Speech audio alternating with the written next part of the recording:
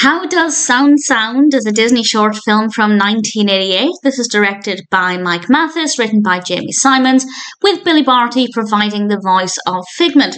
And we have some animation, some live action, and it is all about, as the title suggests, different sounds.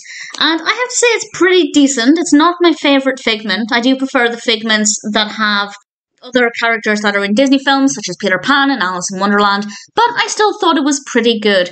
And Figment is helping the children learn about different sounds. He encourages them to listen to sounds around them. They are making sounds, such as popping balloons, and we do have a lot of different sounds in this. The whole thing is just under 15 minutes, and I think during that time they managed to pack in quite a lot. I think the pacing is really great we get to the point pretty quickly and then we're introduced to the main children. I don't know who plays the main children in this because, as is usually the case, IMDb is very lacking in any kind of information. So if anybody can provide any more information on that, please feel free to do so. But I thought the children were pretty great and they go off exploring sounds. We go to different locations. We're outside a lot of the time.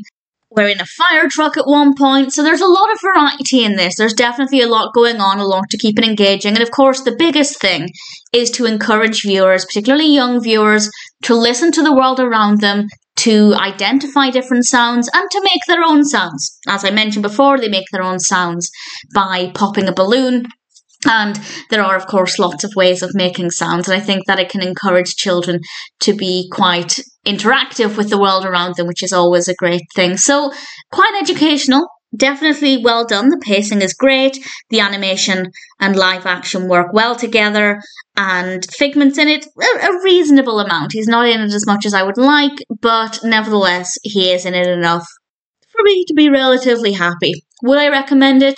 Yes, if you're a Figment fan, I'd say it's worth checking out. If you're new to Figment, I'd say it's a decent place to start. It isn't my favourite, but that being said, I can't fault it, not really wrong with it. A lot of opportunities for learning and encouraging children and any viewer to pay attention to the, the sounds around them and to make their own sounds. So, no complaints from me.